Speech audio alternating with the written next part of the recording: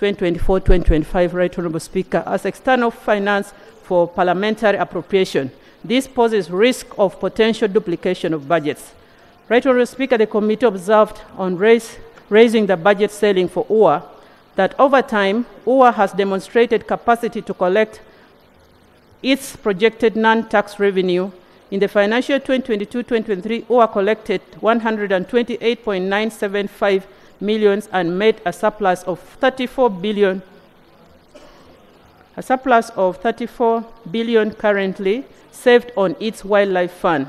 In the financial year 2024-2025, Right Honorable Speaker and colleagues, UWA has been allocated 81.433 billion as proposed in this ministerial policy statement. Yet it has projected to collect 182.36 billion in addition to the non-tax revenue surplus saved from financial year 2022-2023. With uh, Uganda shillings 81.43 billion, UWA will only cover wage-related expenses for its 3,200 staff.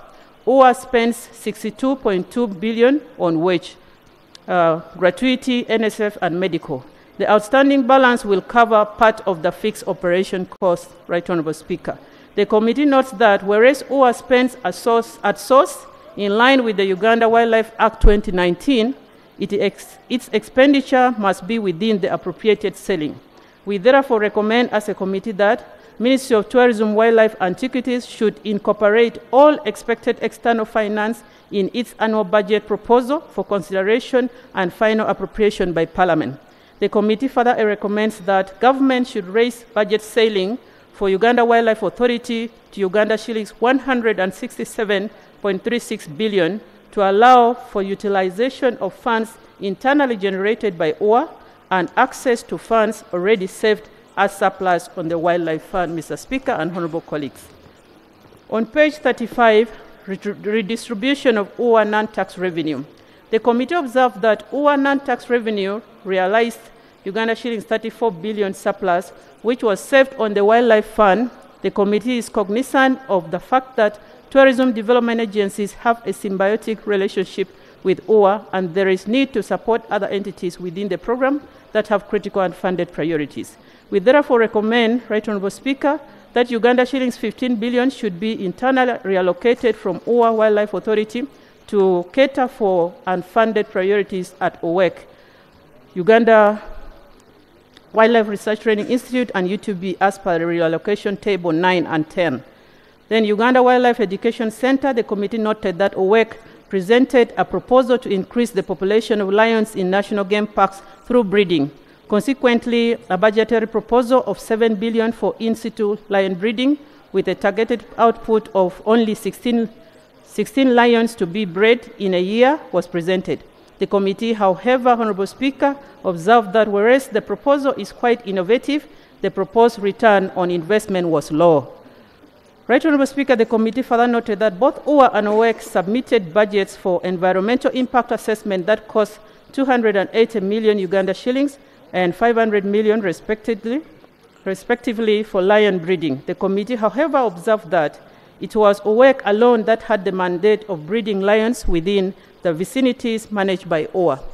Right Honorable Speaker and colleagues, we recommend that OWEC should review its feasibility study and conduct benchmarks on the return on investment on in situ lion breedings and present it uh, for recommendation during the next budget cycle for financial year 2025-2026. Additionally, we recommend that UWEC and UWA should harmonize their mandates regarding lion breeding in national game parks and protected areas. Right on the speaker on page 36, 4.4, Uganda Hotel Tourism Training Institute. The committee observed that UHTTI made a total collection of 2.8 billion as non-tax revenue and retain the same on its revenue account. The committee further observed that UHTTI has been spending funds at source, contrary to the Section 29 of the Public Finance Management Act 2015. During the meeting of the committee held on Thursday, 21st March, right on the Speaker, the principal of UHTTI informed the committee that the Institute received authorization from the Permanent Secretary and Secretary to the Treasury to spend funds at source. He tabled a letter dated 13th January 2023, authored by the Permanent Secretary, Ministry of Tourism, Wildlife, Antiquity, requesting the PSST for supplementary budget of 3.8 billion for emergency reallocation of UHTTI to rented premises and establishment of students accommodation facilities.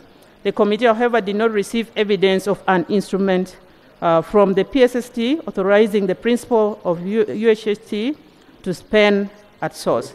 The committee observed that this institution illegally held funds on its revenue account beyond one financial year without remitting to the same and the same to the consolidated fund. The committee was privy to the information that management abuse abuse I mean management abused its authority by allowing insider borrowing of money that culminated in a total loan portfolio of Uganda shillings 472 million for the period July 2022 to March 2024. Right Honorable Speaker and colleagues, the committee further observed that this institution was engaged in insider borrowing on page 37 without authorization from any lawful authority. It is, it is straight law, Right Honorable Speaker, that the mandate of borrowing and lending money is a preserve of government. Article 159 of the Constitution of the Republic of Uganda provides that the power to borrow and lend money is for the government.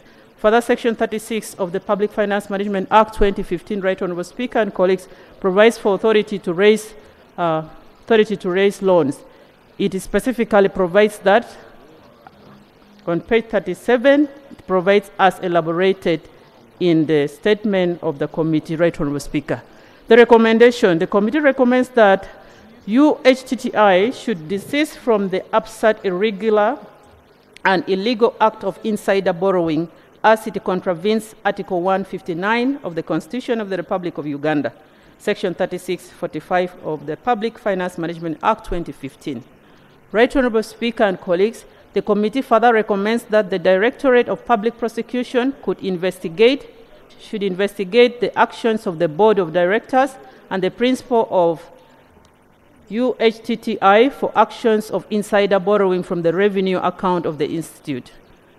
Right Honorable Speaker, on page 38, Uganda Wildlife Research Training Institute, which is a subvention, the committee observed that the performance of this institute since its inception in terms of publication of wildlife research findings fell below average, and neither does it depict the name of the institute nor justify the annual budgetary allocation made. The committee was informed by the minister that the poor performance of this institution could be attributed to low staffing levels in the research division of the Uganda Wildlife Research Training Institute due to limited budget allocation to the institute.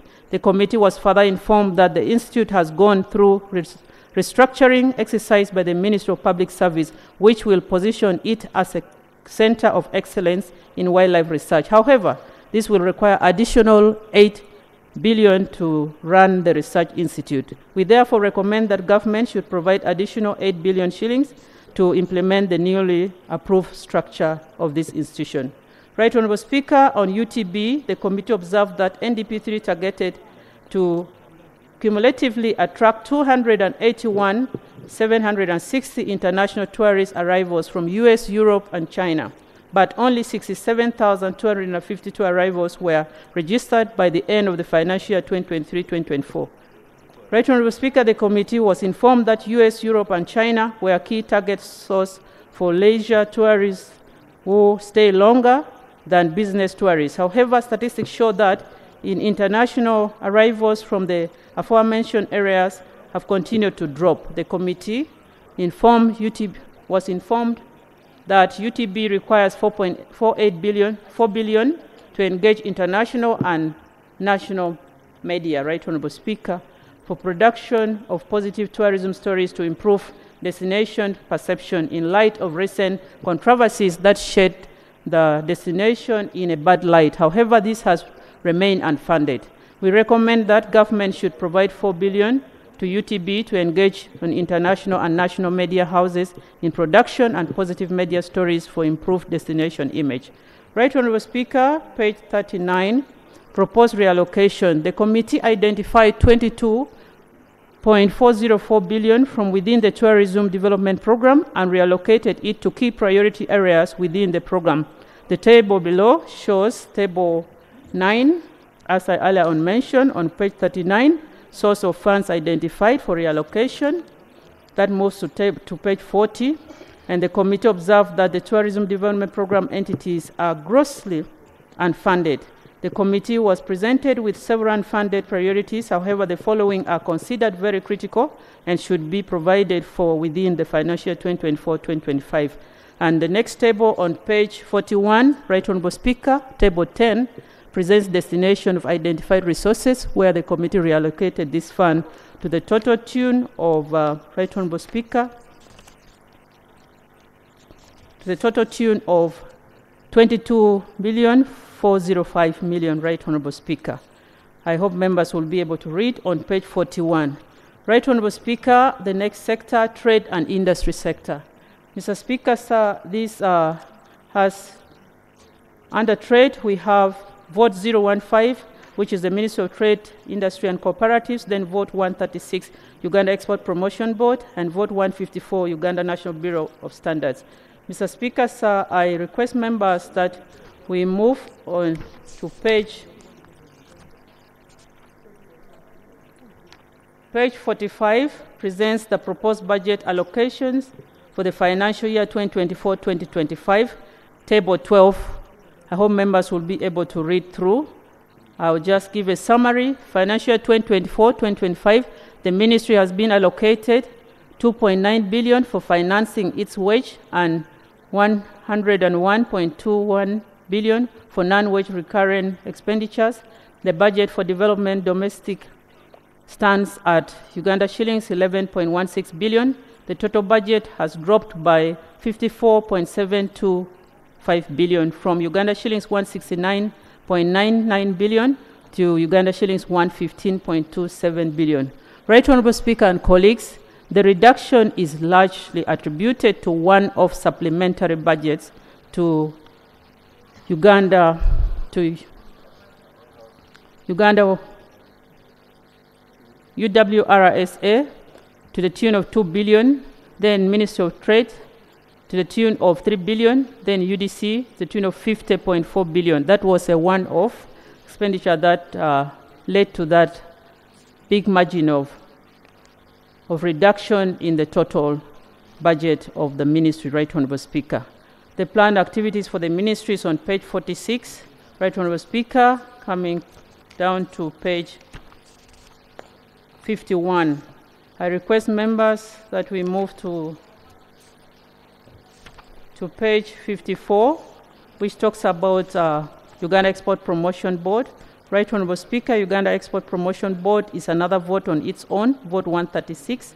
And when you look through on page 54, it presents the semi-annual budget performance.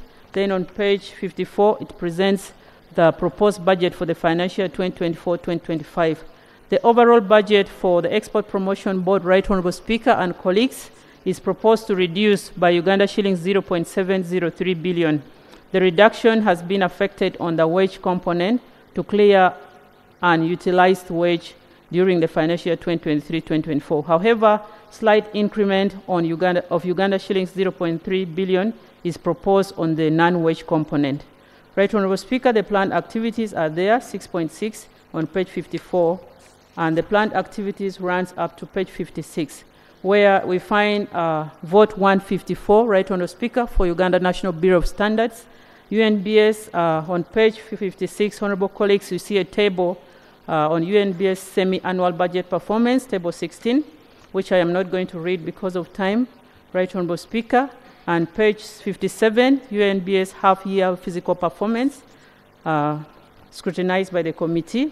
Then on page 58, Right Honorable Speaker, is the proposed budget allocation for financial year 2024-2025 and the variance between approved and the proposed Right Honorable Speaker. The proposed budget for UNBS is Uganda shillings 58.142 billion, which is a reduction of Uganda shillings 1.9 billion from the approved, approved budget of financial year 2023-2024. The wage component is expected to remain constant, while non-wage and development budget are proposed to reduce by 0.3 billion, Right Honorable Speaker, and 1.6 billion respectively. The planned activities for the uh, UNBS, that's from page 58, members can read through. Then on page 59, Right Honorable Speaker, is the proposed reallocation for trade and, trade and industry financial year 2024-2025. On table 19, Right Honorable Speaker, the committee identified Uganda shillings 35.725 billion from within the trade and industry and reallocated it within the sector key priority areas. The table below, table 19, presents all the details of the source of funds identified for reallocation. Then, Right Honorable Speaker, that runs up to page 60 with a total of uh, 35.7275 billion shillings that was uh, identified and reallocated on page 61, Right Honorable Speaker, on table 20 that members can have time and look through. The committee scrutinized the funded and unfunded priorities for entities under this jurisdiction and was able to identify sources for reallocation and reallocated it accordingly in table 20 based on some projects that were already running on uh, to get completed and few new projects, Right Honorable Speaker.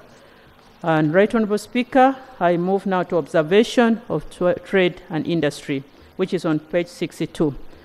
Right Honorable Speaker and colleagues, uh, the committee is concerned that the Ministry of Trade and Industry and Cooperatives was supposed to have operationalized laws such as the Accreditation Service Act 2021 and the Sugar Act 2020. However, none of the two have been operationalized.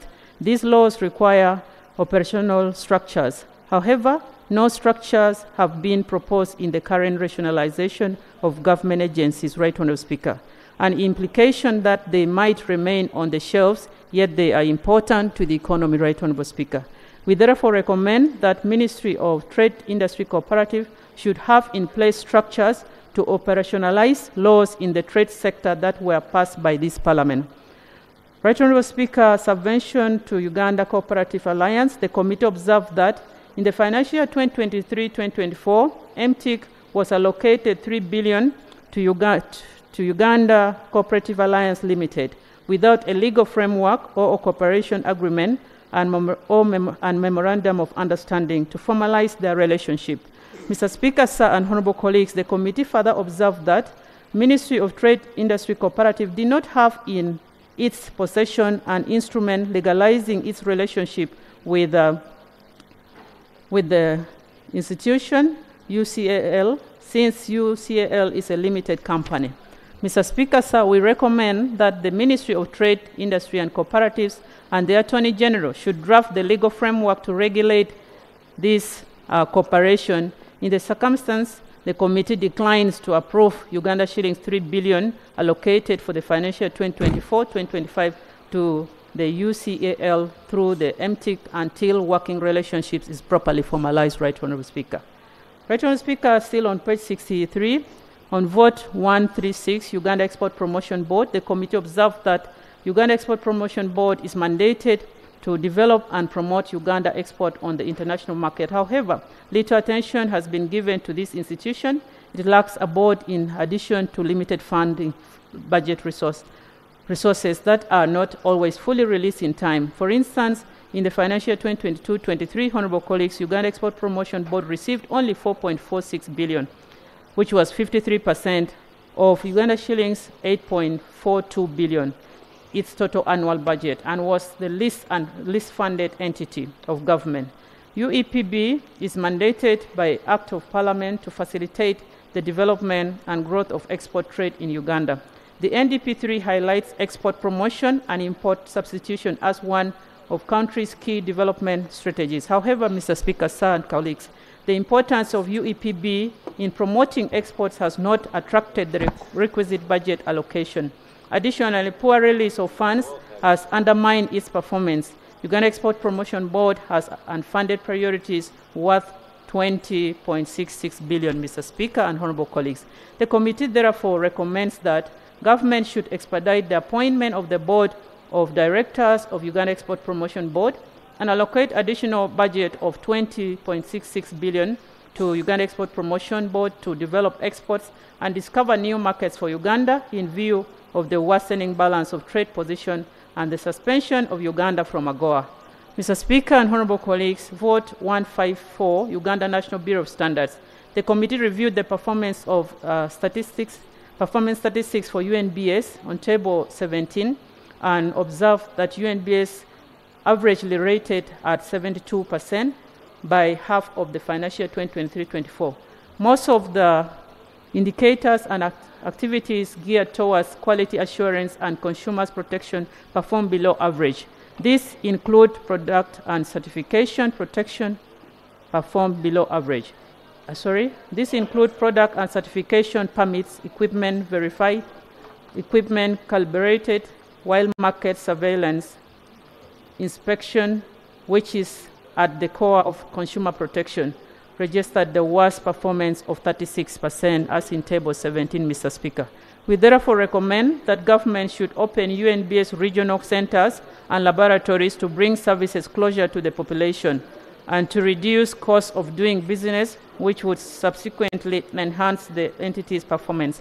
Mr. Speaker and colleagues, the committee further recommends that government should allocate adequate funds for salary enhancement for scientists as per the presidential directive. This will enhance performance in this uh, institution, Mr. Speaker, sir. Right Honorable Speaker, Uganda Development Corporation, UDC. The committee observed that UDC operates as a subvention under Ministry of Trade and Industry and Cooperatives. Under the subvention, funds are released to Ministry of Trade, Industry, Cooperatives, which is turn, which in turn is transferred transfers to, to funds to UDC for its operations and investment. The committee noted that UDC accounts for over 60% of the budget appropriated to the ministry, MTIC. Under the current arrangement, UDC is not able to monitor how much it releases, how much is released by the Ministry of Finance, Planning and Economic Development for its operations and monitor and control the fund. The committee is cognizant of the fact that in some instances, UDC has to operate under the market situation, and this may be affected by the lengthy financial release procedures and especially while operating as a subvention. Right Honourable Speaker, the committee further observed that as government of Uganda's investment arm, UDC being, being was supposed to be was supposed to ensure that government's shareholding portfolios is business in business ventures generated return on investments. However, the committee noted that despite recurring investments in businesses such as Commonwealth Resort Munyonyo, Soroti Fruit Factory, Mutuma Tea Factory, Panga Tea Factory, Atiak Sugar Factory, among others, UDC has continued to post losses. The committee further notes that there was no guarantee that allocations to UDC would transform or generate returns of investments.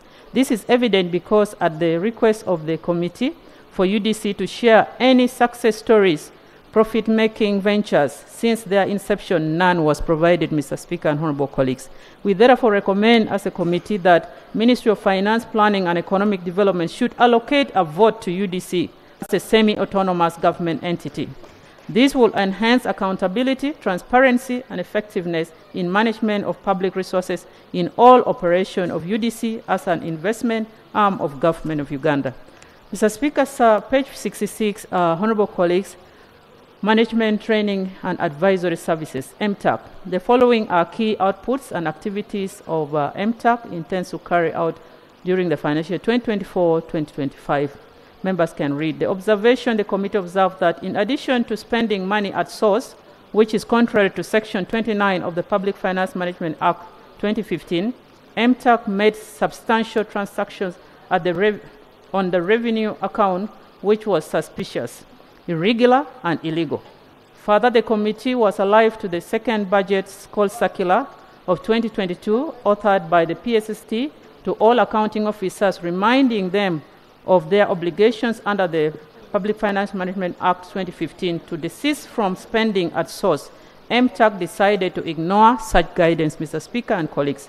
Section 45 of the Public Finance Management Act 2015 requires that an accounting officer shall control the, the, regular, the regularity and proper use of money appropriated to the vote, be responsible for authorizing any commitment made by a vote, and control the resources received, held, or disposed of by or an account on account of a vote. Mr. Speaker, I now proceed on page 67 on general observations and recommendations. And I start with the first one, Mr. Speaker and colleagues. Expenditure at source outside parliamentary approval. The committee observed that a number of entities under Ministry of Trade, Industry and Cooperatives have and Ministry of Tourism, Wildlife and Antiquities spend their non-tax revenue at source in contravention of Public Finance Management Act 2015. These entities include MTAC, UNBS, and UHTTI. The committee noted with concern that easy accessibility to these funds have led to financial irregularities in these institutions. For instance, UNBS are collected Uganda shillings 64.7 billion non-tax revenue, out of which only Uganda shillings 52.53 billion was transferred to the consolidated fund, and the balance of Uganda shillings 12.14 billion was spent at source. Right Honourable Speaker, procurement of private consultancy services for civil works. The committee observed that the deliberate disregard of the mandate of Ministry of Works and Transport by MDAs and prefer private consultants was a deliberate was del, was deliberate deliberate sorry dilapidating marvel and raised concerns as to reasons MDAs choose consultants as against Ministry of Works Transport for civil works in, is costly, irregular, dubious, suspicious, and encumbers service delivery. Right Honorable Speaker, under the Uganda Public Service Standing Order, the procurement, utilization, and disposal of goods and services in the public sector standing orders is on works instructs the responsible office, officer to consult the ministry responsible for works before engaging in any works or related activities. Further, Ministry of Finance, Planning and Economic Development issued a procurement policy book 2022 to which the Ministry of Works and Transport was listed as a component authority in executing civil works. Recommendation The committee recommends that PSST should immediately exercise disciplinary action on all accounting officers who fail to comply with the Public Finance Management Act 2015 on management and remittance of non-tax revenue to the consolidated fund. Right Honorable Speaker and members, the Committee on Tourism, Trade and Industry recommends that Parliament adopts this report and approves budgetary allocation for financial 2024-2025 as indicated in this table where 0 vote 015 Ministry of Trade, Industry and Cooperatives is allocated 114 474 billion, Right Honorable Speaker. Uganda Export Promotion Board 12 12 billion 321 million 175,000, Right Honorable Speaker. UNBS 64 billion 900, 691 million, Right Honorable Speaker. Ministry of Tourism, Wildlife and Antiquities 173 billion 243 million, Right Honorable Speaker and colleagues. Uganda Tourism Board 28 billion 128 million, Right Honorable Speaker. And finally, Uganda Consulate in Kenya, Mombasa 1.5 billion, Right Honorable Speaker. Right Honorable Speaker and Honorable colleagues, I beg to report.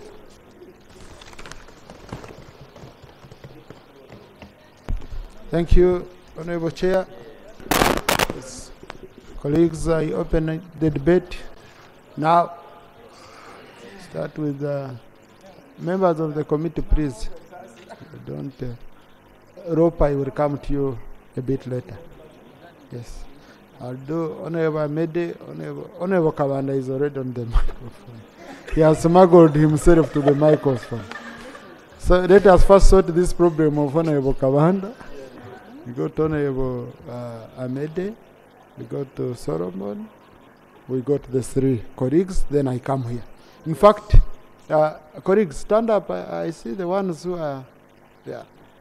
Okay, Honorable Kabanda one, Amede two, Solomon three. Uh, Ekanya, you're here first, come here. Yes. Uh, Chegegwa four, Terego, Timugiwe. So le- let's make a deal. The colleagues who have stood up here are the ones who will speak. Okay? Yes. Because I have people who will come in later and eh, they want to cause confusion. Okay? PLU government. what is your budget? Colleagues, and we do summary so that we take other steps. Thank you, Right Honorable Speaker. I want to thank the members of the committee for the good report. However, Right Honorable Speaker, I am still disappointed with the committee because they have given very little money for to this mini, to this sector. When you go to when you go to developed countries, they put most of the priorities on tourism. You go to Rwanda, right honorable speaker, where they have only 25 or 26 gorillas, mm. and compare Uganda with Rwanda. Uganda, if the minister can give me some information, I don't know the families we have of these gorillas. But more than 29, more than 30. But you compare the money we put in our tourism sector and the money that Rwanda puts in the tourism sector.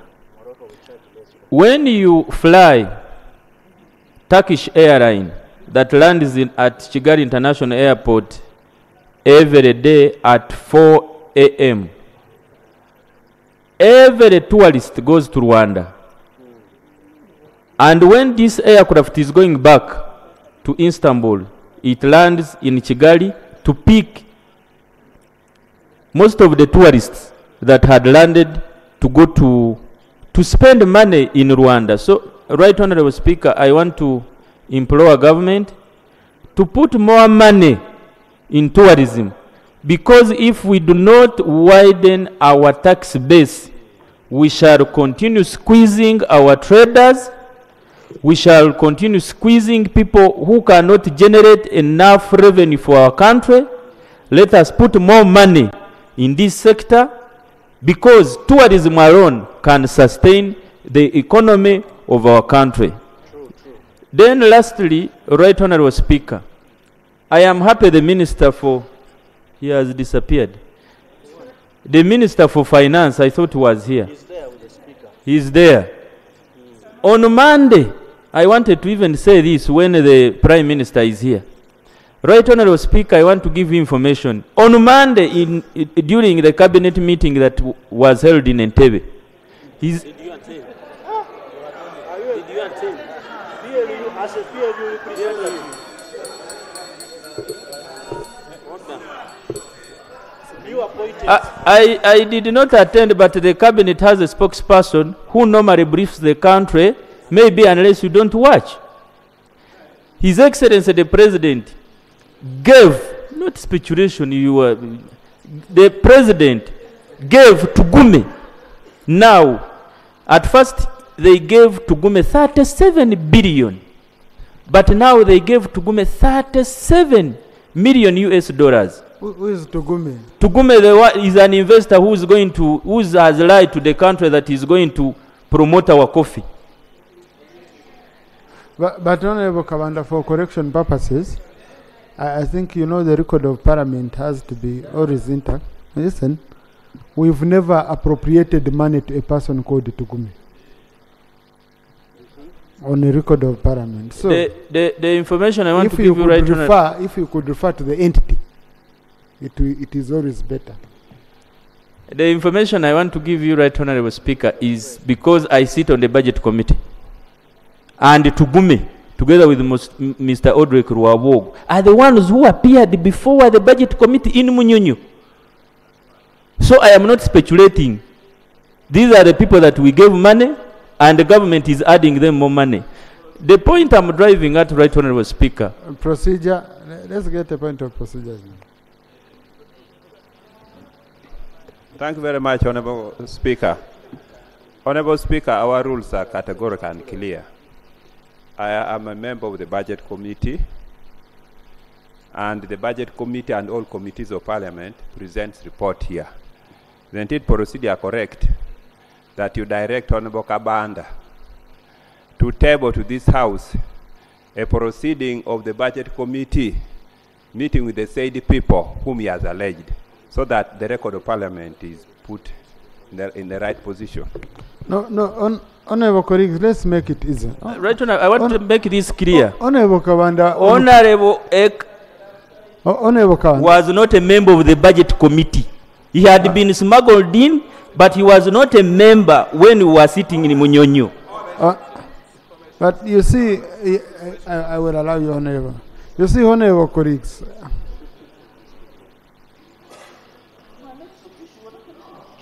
Honorable colleagues, just listen. Honorable Kabanda and Honorable colleagues, let's not create unnecessary tension. I usually don't like it when colleagues go for each other.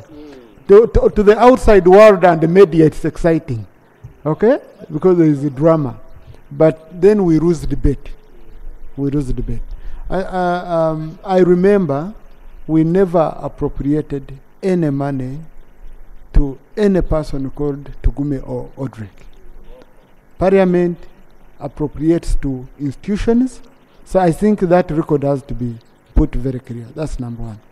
Number two, if cabinet discussed what they discussed and it has not yet come here, then that is anticipation. Rule 80 of our rules of procedure doesn't allow us until it comes here formally. Okay? And then Honorable Kabanda puts those hard questions to people to explain. I, I would request Honorable that uh, uh, Okay, Right Honor.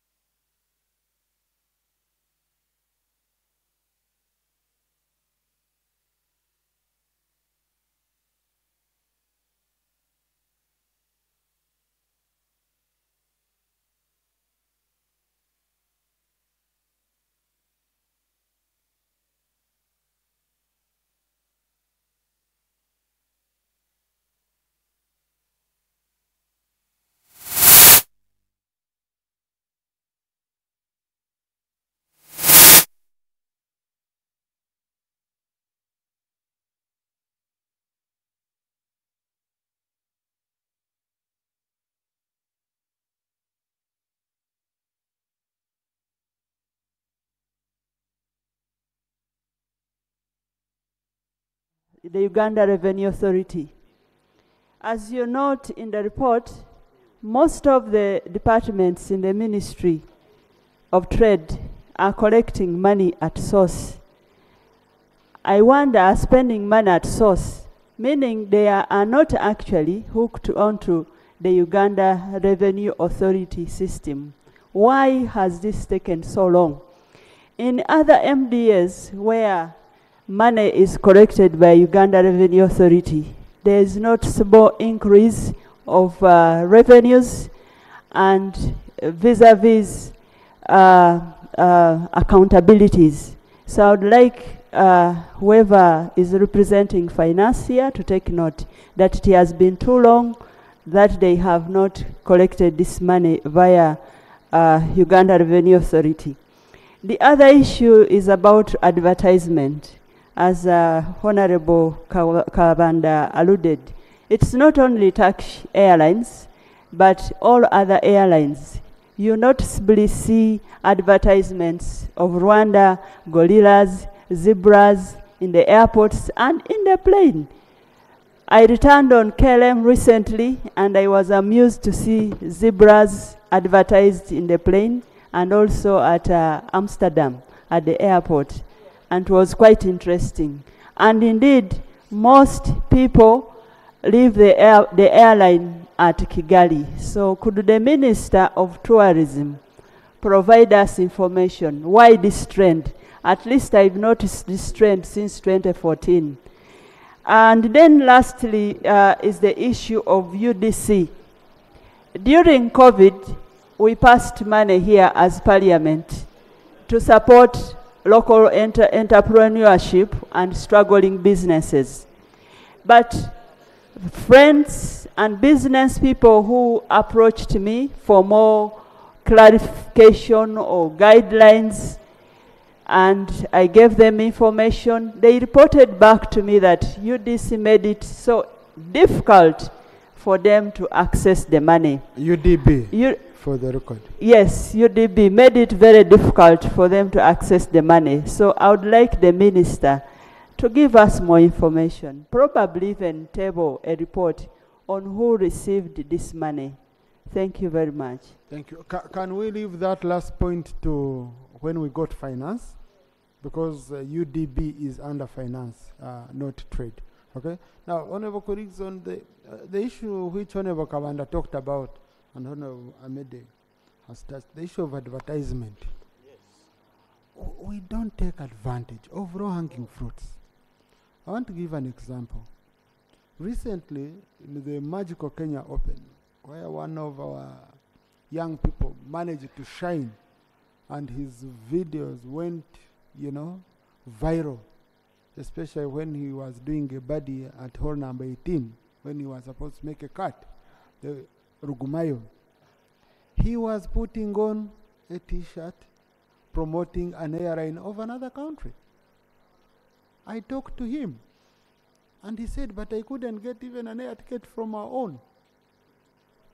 You know, it's painful. And, and the boy near shed tears in my office. He said, Look, my name, my flag was watched globally among people who are billionaires, among people who are tourists of the golf game. But I was showcasing that I'm being supported by another country. Because my own country couldn't get me a ticket of $1,500. You, you know, it's, it's so, you ask yourself, who really cannot take advantage? How come other countries have eyes for such a low, uh, low-hanging fruits? And then for us, we cannot. So, so but luckily enough, uh, immediately I called the uh, MD of Uganda Airlines and I sent him there. They met. I hope they are working out something because the boy is going global. And whenever he's playing, he's raising our flag globally. He's putting on that advert alone, watched by the millions who watch it. He should be charging the government of Uganda billions for using his name, saying he's a Ugandan. Yeah, because he's marketing our country. Solomon Chelangat. Thank you, Right Honorable Speaker. I want to join my colleagues in thanking the committee for the, the report. Right Honorable Speaker, I developed interest in uh, an issue of uh, human-wildlife conflict. I want to thank the committee and the proposals from the ministry that they are going to they are going to put a chain link across over 80 kilometers of uh, some national parks. However, I don't know, Speaker, we have been in this floor of parliament with my colleagues, and we were telling this parliament that the source of conflict in Sebei sub-region is because of the people who are displaced from their original homes in the forest. Now that they are going to put a chain link in case they get the money, what happens with these people, right, Honorable Speaker?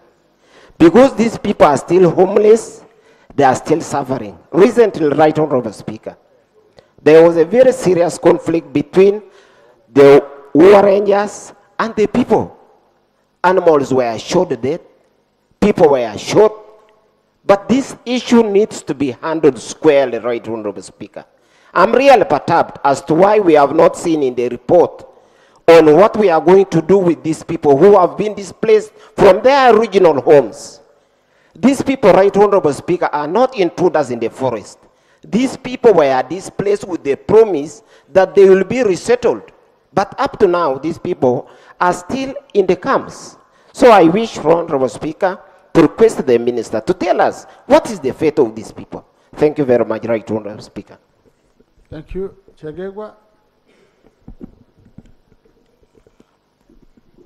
Thank you very much, Right Honorable Speaker. I thank the committee for the report, and I have a critical passion on that particular sector, especially the one on tourism. Right Honorable Speaker,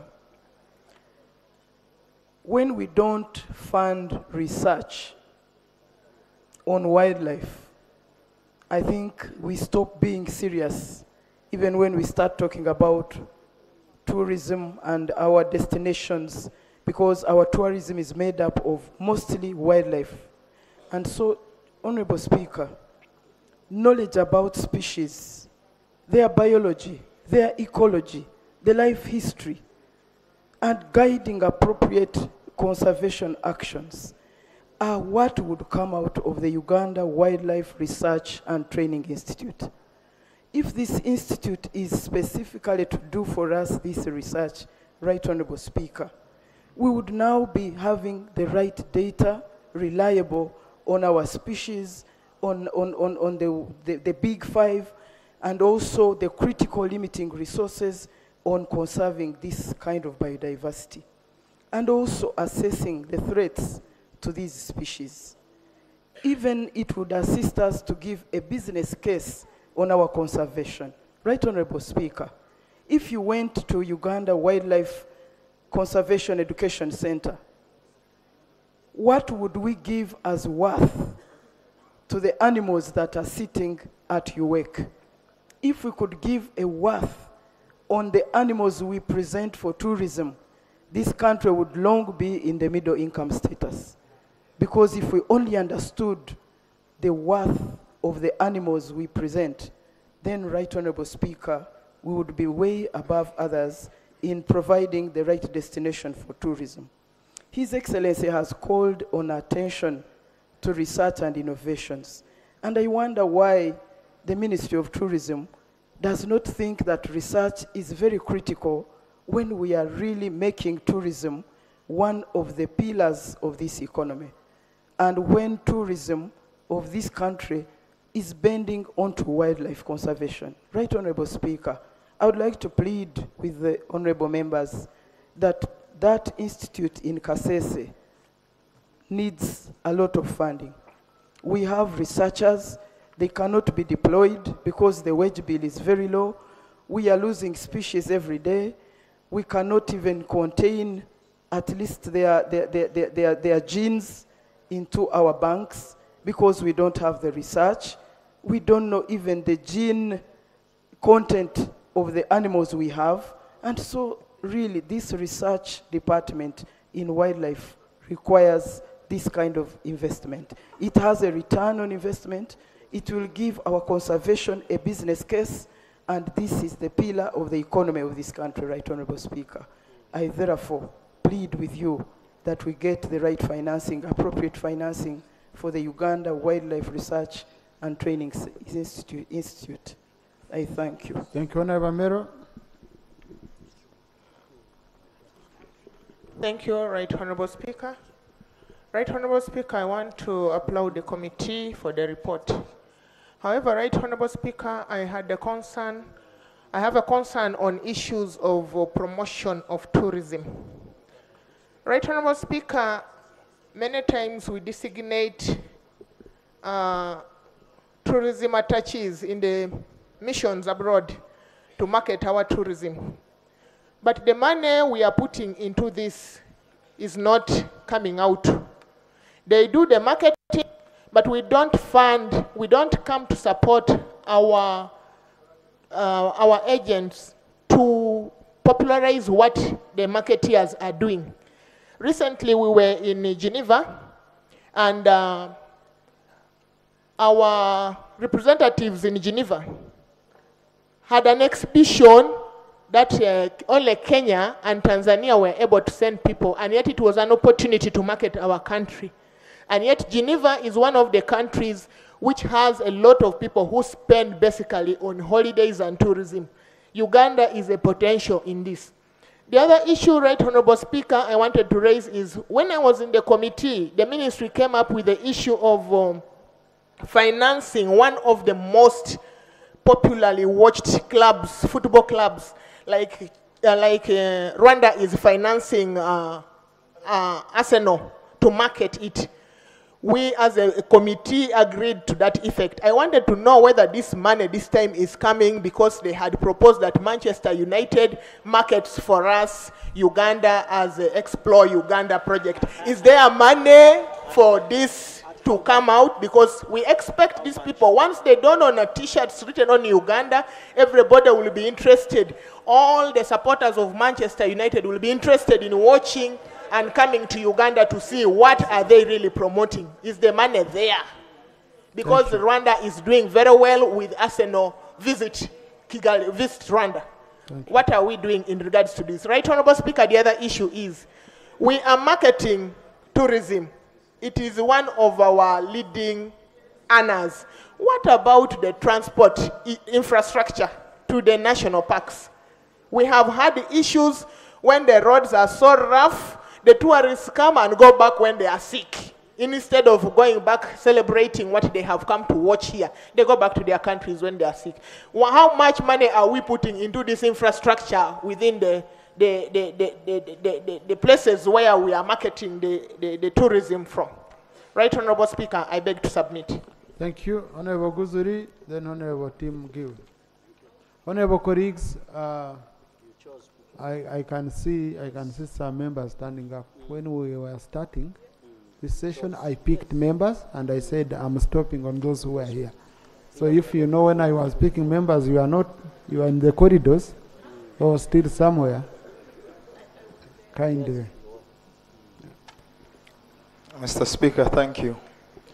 I have listened to the chair of the committee, and my observation is that the report is leading this House into approving a policy statement which has not satisfied many requirements of the law.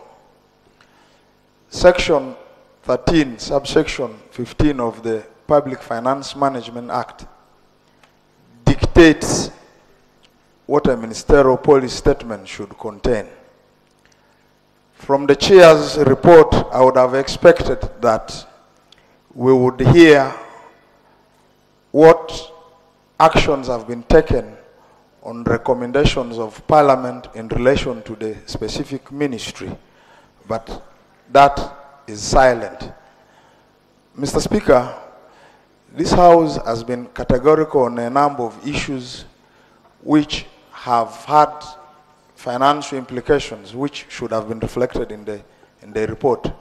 For example, this House recommended and resolved that uh, the ministry should be able to compensate tobacco farmers in, in West Nile.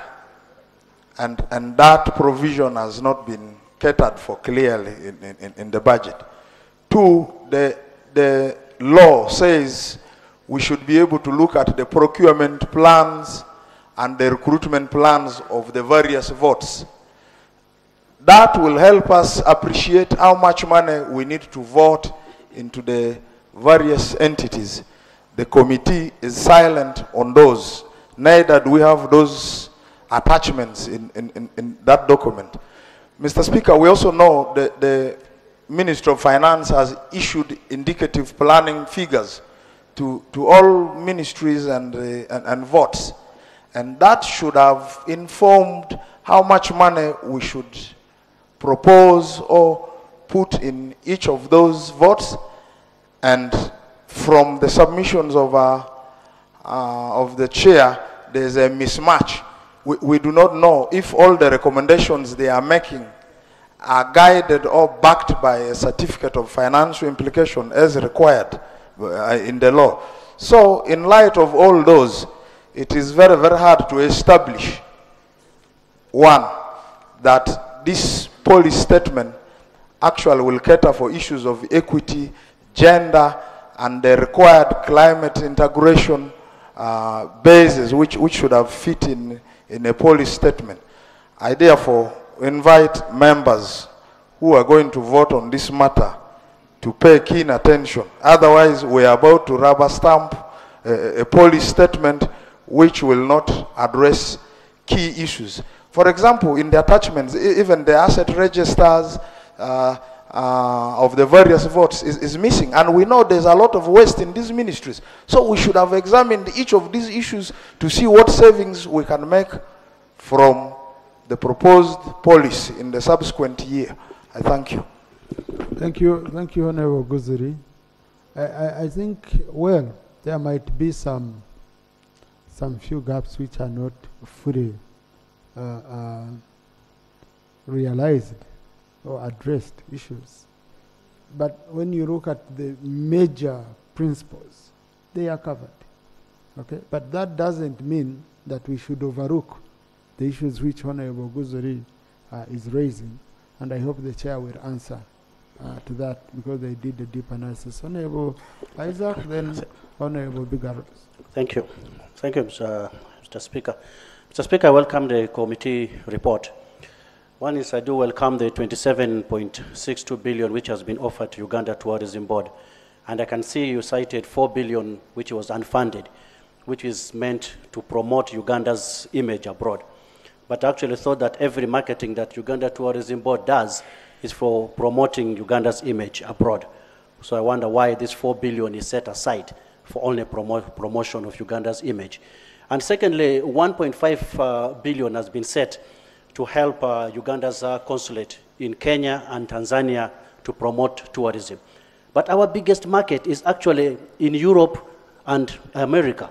So I would, I would assume that actually some money be allocated to Uganda Tourism Board. We should go directly to those consulates because they do operate a lot in actually trying to promote Uganda.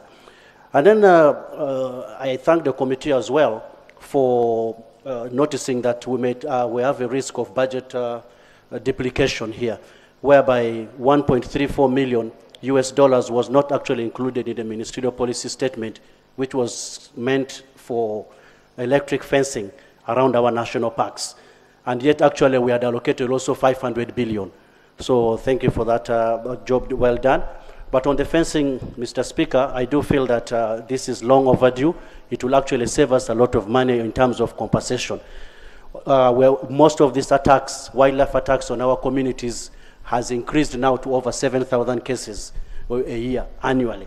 And if most of our national parks are actually fenced, uh, we shall actually be avoiding some of these cases. So I do welcome this money which is going to come in helping avoid. But also we need a clear channel for uh, uh, applicants who are actually requesting for compensation because most of them do not know the way properly how to access this money for compensation and the compensation policy is actually also very slow.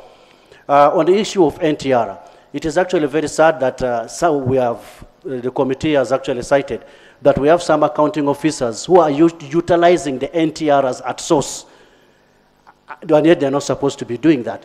And yet we have other uh, entities also who uh, uh, bring out NTRs, like in the health sectors, and they are not allowed to use any single coin of those NTRs. So why are we uh, having these double uh, policies going on with some other, uh, other entities? And uh, lastly, Mr. Speaker, Mr. Speaker, we are all aware that uh, passengers accessing West Nile still have to pay while they're accessing the route from uh, Masindi going to Pakwach. That issue has been raised several times here. We know very well that the road from uh, Karuma to Pakwach is still under rehabilitation and it is not ready. As MPs of West Nile, we have raised this on numerous occasions. That let passengers accessing West Nile going through the road from Masindi to Pakwach be allowed to access it for free as we wait for that. If it's not going to be for free, then at least let us have some concessions. But vehicles have to pay 40,000. That is only a small vehicle. So I hope that this matter can be taken up serious so that our members of West Nile accessing uh, Masindi to Pakwach can get concessions instead of repaying a lot of money. Thank you. Thank you, Honorable Bigaros. Honorable colleagues, let's try to Yeah. conclude. Yeah, thank you so much, Right Honorable Speaker. In the same vein, I join my colleagues in applauding the committee for a very good report.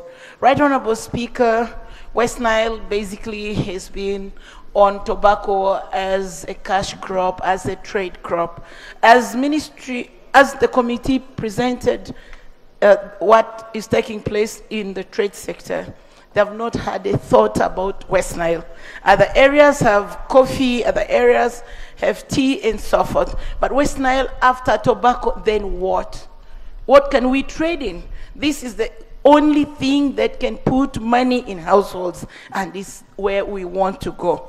Two, on, the, on this floor, we did mention that we used to have white rhinos, and we have requested severally, can we transport these white rhinos so that they can produce, so that we can have white rhinos, so that we can have something in West Nile. We used to have so many tourists coming for white rhino, I, uh, the white rhinos in West Nile. But this I have not heard. Through you, I request that the white rhinos should be relocated.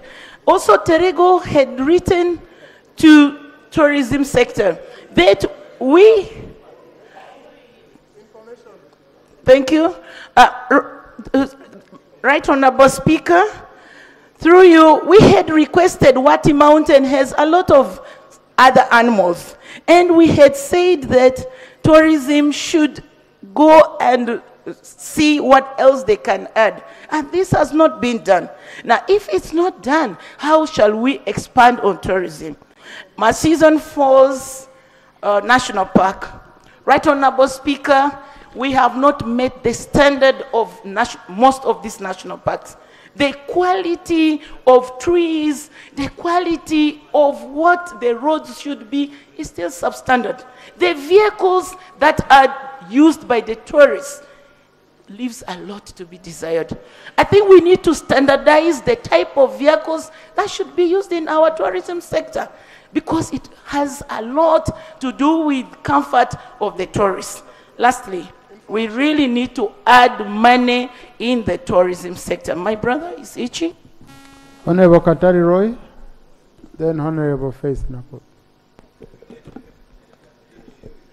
Uh, thank you, Right Honourable Speaker, for giving this opportunity. I would like to thank the committee chair and the members for the detailed report. Right Honourable Speaker, uh, the chairperson or the committee noted that there are two acts. One, the Accreditation Services Act 2021 and the Sugar Act 2020. They are only wondering because it's neither part of the rationalization process nor is it part of the ministerial policy statement.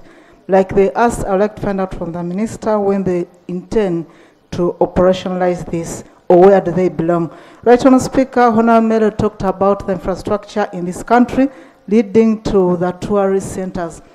Everyone knows that Jinja is one of the serious tourist sites in this nation, but Right Speaker, that road is a mess. These days you leave Kampala at 5, you reach Jinja at 12 a.m. You reach Jinja at 9, you reach Jinja at 9 p.m., you reach Kampala at 5 a.m. That's the situation. Right Honourable Speaker, on adverts, I know we need to carry out lots of adverts telling the world that Uganda has good tourist sites. A few weeks ago, the Private Sector Foundation had the Women's Day Katali in Jinja the 3rd, and I was, I was privileged to meet one of the exhibitors. It was an advertising company. This company has everything you need to know about Uganda in audio and videos. When I asked them why they don't work together with Uganda Airlines and Ministry of Tourism, they said, I think they are not, they are not interested. Maybe the minister should start with that. We could contact the private sector foundation to get the details of these people. Thank you. Thank you, Honorable Nakut Faith. Then Honorable Ekanya, Honorable Tommy Singoma, Honorable Roland Bish, Honorable Barimwezo, then Honorable Nkonyinji we go to. Right Honorable Speaker, I have two things on which to commend the committee. One of them is showing sources for reallocation. They have done a commendable job. The committee went beyond just recommending that money be added. Added from where? I think it's a learning for the rest of the committees. that when we move money, we should move from one place to another, showing that. Thank you. The second one on which to commend the committee is the brilliant idea to provide funding for UTB to do international advertising, as the colleagues have already explained it. It is true that projecting a correct and positive image of our country is critical for the tourism industry to grow. Right Honorable Speaker, I know you're listening. There are two things, two policy areas of concern to me that have come out of this report. One of them is on UWA, Uganda Wildlife Authority. The committee gives clear reason why that UWA gives a justification that UWA should be added more money. But in my view, one of those justifications shouldn't be that UWA is making a lot more money. It shouldn't be. It shouldn't be the quantity or, or amount of money we are making and uh, agency is making to determine how much we should give. It should be the need, the, how much is needed for efficiency, how much is needed to get the value we want, rather than how much they are generating. Because if we consider how much they are generating, then Uganda lotteries and gaming board will ask for more because they also generate. Uganda Revenue Authority will also ask for more because they generate. So it should not be part of the things we use for discussing in this house. Secondly, on the policy issue, number two, the Export Promotions Board, Right Honorable. How about something called PASAID? How do the two relate? The committee recommends that we add more 20 billion to the Export Promotion Board to do its work. We acknowledge the need to promote exports. But at a time like this one, should we put money on what we know is working, or should we put money on a trial and error on an inexistent board? I have a problem with that. I would rather we put the 20 billion on what we see is working, other than on a gamble. I submit. Thank you. Uh, Hon- colleagues, if there is any statement which um, I'm finding is a discussion, it's difficult to control and put together without losing focus. It's this one. Because the Committee for Tourism, uh, the Ministry for Tourism, is totally different from Trade and ENBS. You know, totally. I remember in Parliament here they used to have, I think it was a Committee for Education, Honorable Kenya can remind me and Honorable Bosabo, and show services. And, and, and it was difficult to give serious attention eh, to education. Yeah, I was checking on the records. It was very difficult to give serious attention to education. I think really we shall need maybe to look at it as a house. Tourism is the engine of this country.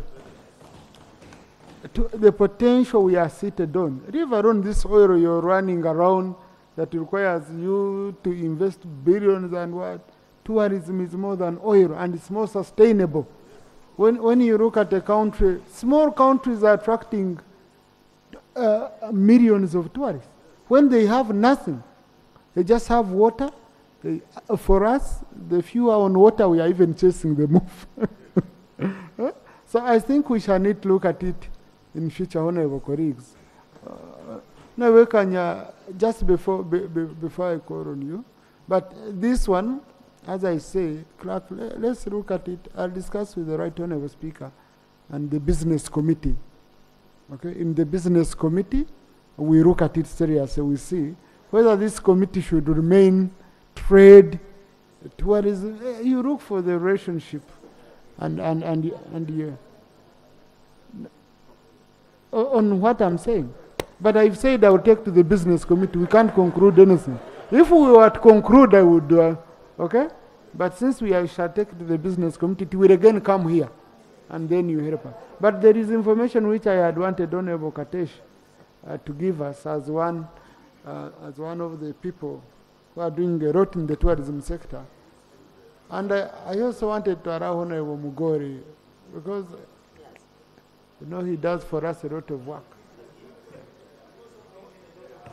Yes. Right Honorable Speaker, thank you very much. I would like to, first of all, thank you for giving this time for us to discuss tourism. Because, Right Honorable Speaker, I thank the chair for the presentation and I was listening carefully. From the report of the Minister of Tourism, they indicate that the GDP contribution from tourism has fallen from 7.7% to 4.7% from 2019 to 2022. For me, that should be a very worrying statistic. I want to highlight other things from that report. The second one is that the tourism arrivals from the US, Europe, Kenya in 2023, I mean China in 2023 totaled 67,252. Compare that with Kenya that receives more than 300, just from 300,000 from US and UK. The third extract from that report is that the population of lions in 2019 were 493 and they have dropped. The minister is saying that we should not say the figures, but we are trying to help you. Now, Mr. Mr. Speaker, tourism has got the potential to actually solve the problem of the resource we have been talking about. The biggest problem we have as we look for money is that we do not seem to have the strategy that places this country at the forefront of attracting tourism destina- as, as a tourism destination. We do not have content. We do not have national content that you can actually distribute across the globe to market a country called Uganda. That's why when you go to some countries, they will ask you whether you have gorillas or not. Yet we have the biggest percentage of gorillas in the, in, in, in the whole world. So where is the strategy that does country level marketing that can attract people to come to Uganda? Number two, Right Honorable Speaker, we have sectors like we have put money in PDM. I want to tell you colleagues that if PDM was succeed by 60%, we would have a crisis in this country because we have not planned for the success of PDM. If PDM results in increased egg production in this country, where would you sell it? A sector like tourism would be the one that would help us offload increased production out of PDM.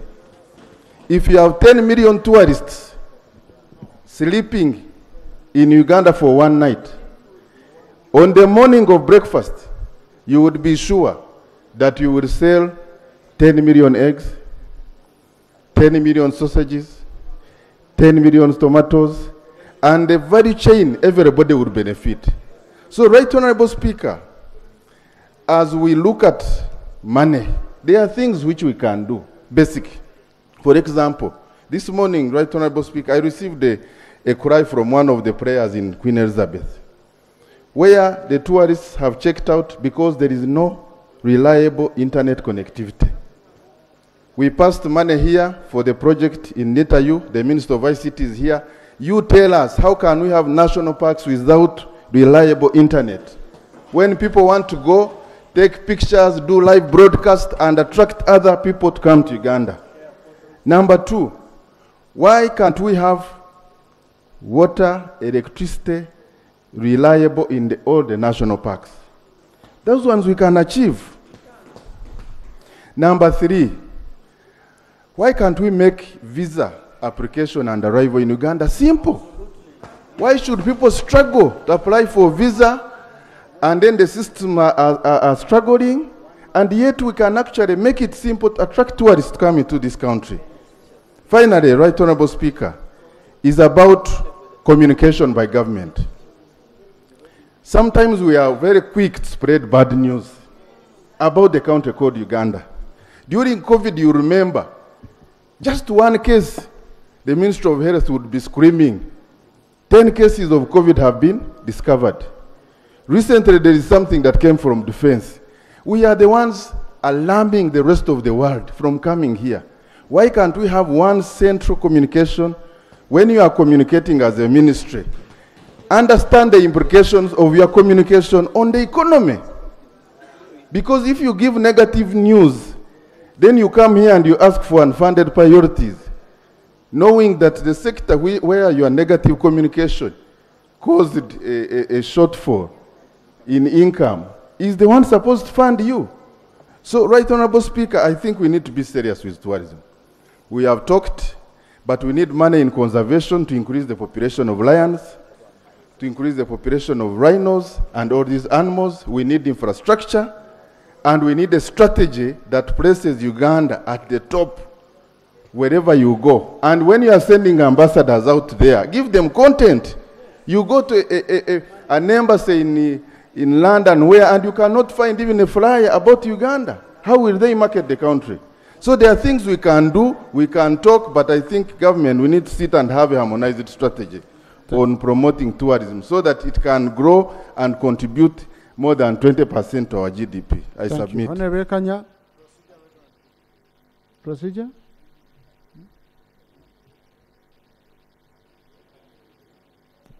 Thank you very much, Right Honourable Speaker. Uh, the procedure point I'm raising on Right Honourable Speaker, and aware that uh, you will tell me that Honorable Bahati is taking notes for the absent ministers. At a time when we are processing ministerial policy statements, talking about budget, talking about the constraints of the economy, talking about the priorities of this country, and none of the ministers of finance is present, and none is present from the, uh, from the office of the prime minister in the hierarchy of one, two, three, four, four prime ministers. Right, Honorable. Are we proceeding well? Thank you. Now, Honorable Chimosho, you said you are aware. I will tell you that Honorable Bahati is taking notes. So I think we are proceeding well. Because even when you were asking, you knew. but, but anyway, uh, I think at this stage, Honorable colleagues, you see, this is our process now. What we need mainly as sector ministers, because after these statements are going to the budget committee, which will engage with the Minister of Finance again. So uh, let, let's, let's proceed. And Office of the Prime Minister is well represented here. Our Honorable Alice Kaboyo is here. Uh, oh, then we have a full minister eh, in our senior colleague, Honorable Rokeris. Eh, and he's very alert and attentive. eh. So we have a very powerful team here representing the Prime Minister. Honorable Kanya, Thank you very much, Honorable Speaker. Honorable Speaker, I want to thank the chairperson of Committee of Trade and Tourism. Uh, whereas Honorable Nguzili tried to water down the report, uh, Honorable Speaker, I've been here for some time, but the report of this committee and your members and your clerk is top notch. Honorable Speaker, why do I say so? Our rules demands that in the report, the members give a summary of the performance of the sector for previous year. The Honorable Lady presented how there is abuse, abuse of the resource by the accounting officers. And for that reason, Honorable Speaker, it is this House that clears the names of accounting officer. I hope, Honorable Speaker, your office will take the recommendation of the Honorable Member that the accounting officers who have been named to have abused their offices, leading to corruption and loss of fund, will not be cleared by this House. Colleagues, you are asking for money for tourism, but there is abuse. And the report has made it clear. Secondly, the government of Uganda and the development partner signed a development support policy. The development support policy states and agreed to use national institutions and to avoid duplication. The development partners agreed that we shall have budget support and not of budget support. Under what condition does the Minister of Finance, Secretary of the Treasury, allow of budget support? That's contrary to the commitment for funding and supporting government of Uganda that all resource we shall use national institutions to avoid duplication and wastage of resource. The honorable chairperson of the committee has highlighted that. I've not heard from other person. How can a colleague question that? Honorable lady has presented very serious matter. Secondly, the issue of not sending money to the consolidated fund has been highlighted. Therefore, Honorable Speaker, my prayer and my request that as we adopt this position, the office of the Speaker and Means of Finance and all of us should ensure that any accounting officer who has been implicated are not approved. Finally, Tororo District is one of the districts that has World War Memorial cemeteries. Honorable Speaker, we move to the US, we move to America, we are taken to memorial cemeteries. I request Minister of Tourism and Trade to ensure that the World War Memorial Cemetery of Tororo is developed alongside the first cable car in the entire Eastern and Southern Africa located in Tororo. I beg to support the report. Thank you. Thank you. And uh, Honorable colleagues, this is when you highlight your issues. The Honorable Minister for Tourism here, Honorable Martin, visited my constituency. Uh, in my area, in Chianga sub-county, Roburunga, and Chijende, we happen to have chimpanzees. We, yes, we happen to have chimpanzees.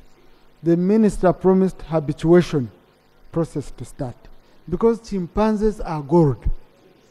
I know very many tourists. There's a group which Honorable Katesh had brought.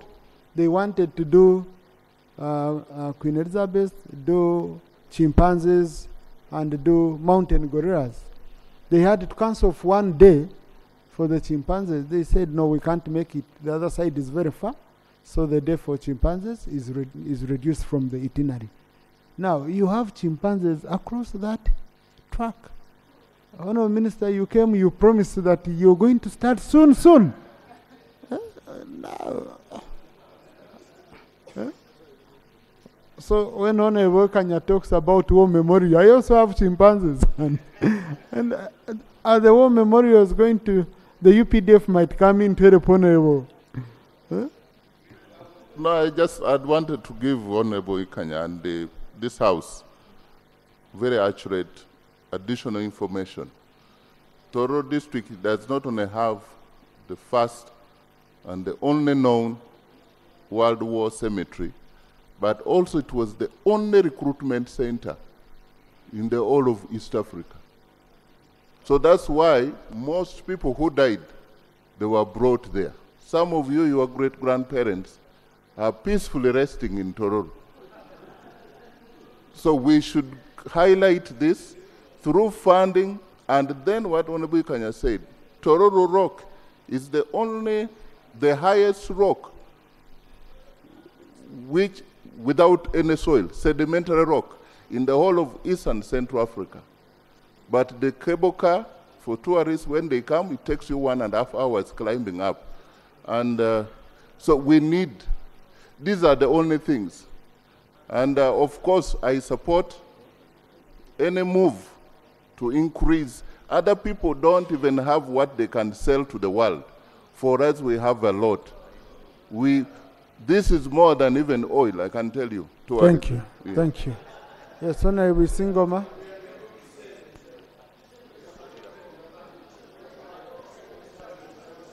Thank you very much, Right Honorable Speaker. Uh, uh, allow me also to join uh, the rest of, my, of our colleagues in thanking the committee uh, for a good report. Uh, right Honorable Speaker, uh, the theme for this year's budget is commercialization of agriculture. But Honorable Speaker, uh, using my experience in countries like neighboring Kenya, where the level of commercial agriculture is slightly higher than ours here, uh, I realized that there is a very strong, actually fundamental symbiotic relationship between commercial agriculture and a vibrant cooperative movement. The two, you know, uh, uh, reinforce each other. Uh, but looking at the report, and I think I've been hearing properly, there isn't much focus on the rejuvenation of the cooperative movement. And this, I think, is a negative, honorable speaker, because we would like to see, would be happier to see um, efforts being made to resuscitate our limping cooperative movement, the primary societies. But only what we hear and what we read in the stories is, is that money being given to cooperative, cooperative unions and, and being misappropriated and eaten left and right. So, right honorable speaker, can the ministry, and I think Honorable Bahati is, is hearing these remarks very well. I can see him looking at me with the.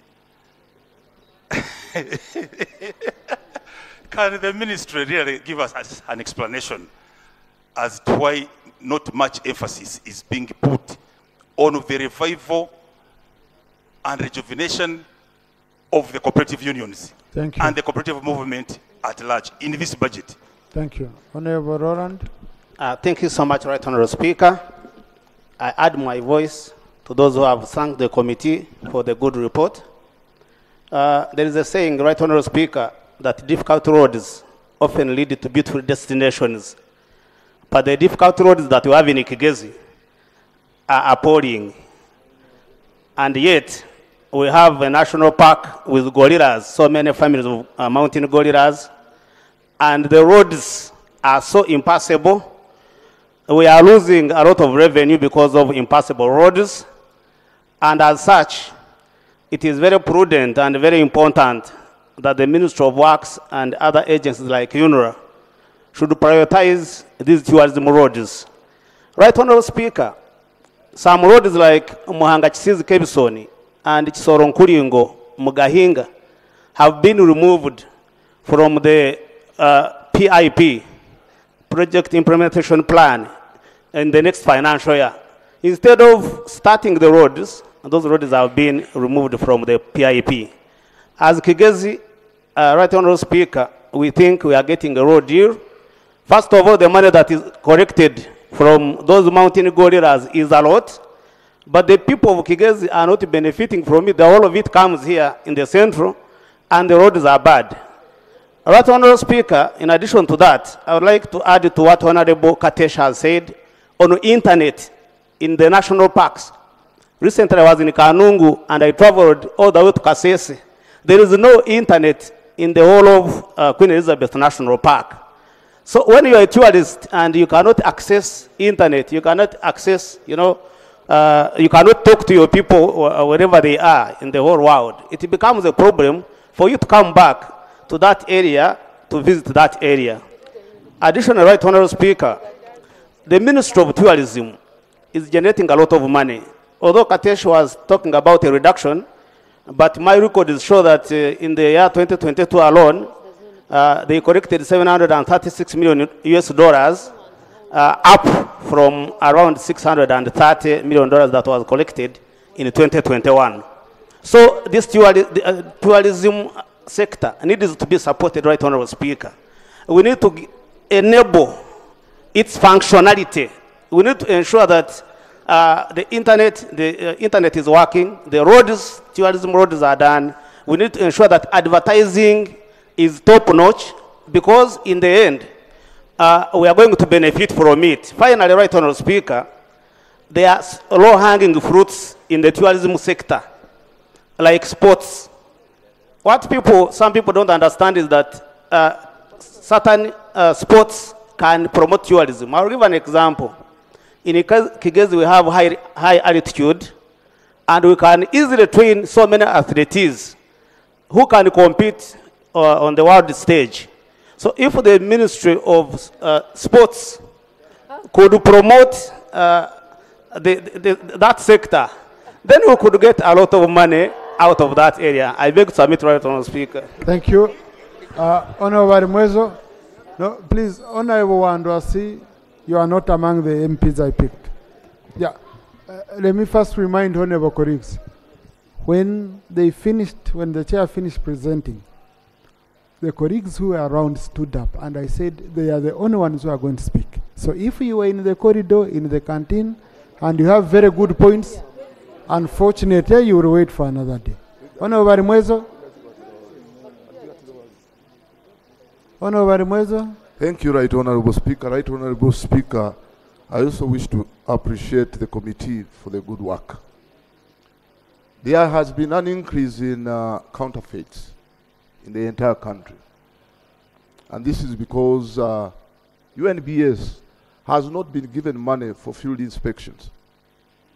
For almost the entire year, I haven't seen UNBS do field inspections in the city. And, uh, you know, it's because they also say that they have limited staff, and this has created a menace. Particularly at our borders, there is uh, limited presence of, uh, of uh, UNBS staff, which creates a problem. So the issue is uh, how much money have we put aside for the field inspection so that we can reduce on the number of uh, counterfeits in the country? That is my question. Then secondly, Right Honorable Speaker, we have, uh, you know, the, the poorest road infrastructure, particularly in the city. I know we shall come to that when, it, when, when we come to physical infrastructure, but we also need to address because uh, without buses that, uh, you know, move these tourists in the cities, majority of them are not working because of the potholes in the city. So I pray that we consider that, particularly when it comes to good road infrastructure in the city. Thank, Thank you. Honorable Nkunyinji Mwada, Honorable Faith Kunihira. Uh, Thank you, Right Honorable Speaker. Uh, uh, I want to thank the committee for the elaborate report. Right Honorable Speaker and colleagues, I have three observations. One, the report mentions Uganda Hotel and Tourism Training Institute to, uh, that they are undertaking insider borrowing, uh, spending at source, among others, in total contravention of the Public Finance Management Act. But they fell short of a recommendation. Isn't it proper you would have said, let the IGG or even the police investigate and, and, and ensure that the culprits are actually apprehended and they are brought to account as, as, a, as, as, as a missing recommendation because there's no recommendation to that. Ma- Much as it appears you did a thorough job of investigating and establish, especially considering their half, half year performance. Uh, secondly, Right Honorable Speaker and colleagues, on page 32, the committee brings into picture the aspect of compensation. And they specifically report that there is increasing number of human wildlife conflicts, including destruction of property and lives. Right, Honorable Speaker and, and colleagues, this is very important. We are talking about tourism and encouraging people maybe to visit our game parks, among others. But when it comes to the regulations that were, that were uh, issued by the ministry in 2022, the committee has observed only one concern of a compensation of 2%. Uh, right Honorable Speaker and colleagues, I want you to bring your attention to the other regulations. When you look at uh, the aspect of proving a claim, these regulations are very unfair. They provide that for you to allege a claim and receive compensation, you must report on the spot that you were attacked. And if it is an animal, you must produce the carcass or any remainder, which is impossible in some instances. The appro- and, and without the, the, the regulation purports to uh, allude to a requirement that you must, it shall, must report, which is impossible to most of the victims. And aware that the report is disclosing uh, increase in encounters between wildlife and, and, and, and leading to destruction of property and lives. We must equally interrogate this. I, I think the recommendation fell so, uh, short of also mentioning that they must also revise these, these, these regulations. One, to, to, to give a proper timeline within which to report a complaint because the regulation provides that you must report on spot And if there is any delay, not exceeding one or two days. Uh, I, I, I mean, not exceeding one, one day, which is hard. Secondly, the, the regulations talks, talks about a compensation applicable if you lose a life, and they are restricting it to only 20 million. Honorable Speaker and, and colleagues, you cannot uh, purport to restrict a compensation on, on life to just 20 million, and if you, you, you have been disabled, then to 15 million. I, I believe this is, uh, this is in contravention and in, in conflict with other neighboring laws we have in this country.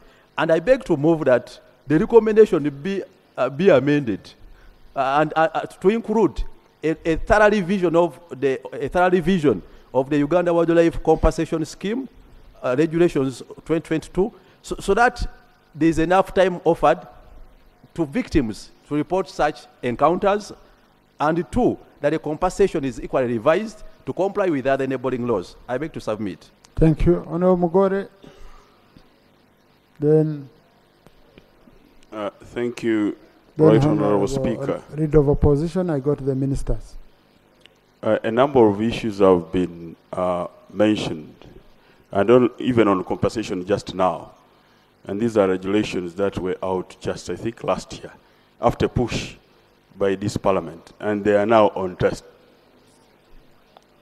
So, what I would uh, suggest, even with the recommendations talking about, is first of all the committee to look at it, whether there, those gaps are there, and the Attorney General whether those gaps are there because it's just being tested. And at the same time, we are the very people appropriating. If there is a cap on how much somebody should get, should we leave it open that somebody would get 100 million shillings in compensation or whatever? Then we shall have beaten the, the purpose for which the regulation and the law was put in place. Number two, there was an issue on advertising. I recollect also, Right Honorable Speaker, vividly that Uganda Tourism Board made a research and found that the most watched team was Manchester United, and they had gone into contract. No, Arsenal was taken by Rwanda. You, can, you cannot go. Rwanda and Uganda also uses Arsenal. No, there The- is, uh, you can just clarify. Yes, but I'm There just is the most watched and the one which makes more noise. Yeah, So, and, so- uh, so you clarify. And, so the clarity was that it, Man U, I'm not a Man U fan, by the way, but it was uh, the most watched and uh, the most watched, and that's why there was that contract coming in. But I don't know how far they have gone currently. But I suppose also that again there were budget cuts that made this contract do not go. And yet, like you said, right, Honorable Speaker, the major issue in tourism is advertising, but also our infrastructure development within the tourism network. I suppose, right, Honorable Speaker, that uh, we have sung over this thing. What they are going to advertise is that thank you. Rob?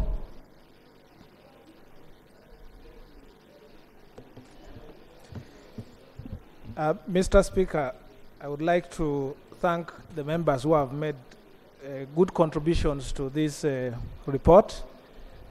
In the area of trade, I would start with the area of trade. Mr. Speaker, our policy direction should be geared towards removing the trade barriers in this country. Whether they are barriers related to border restrictions or the environment, including even government exposed restrictions. Those are the areas where we should focus so that our traders can have some breathing space.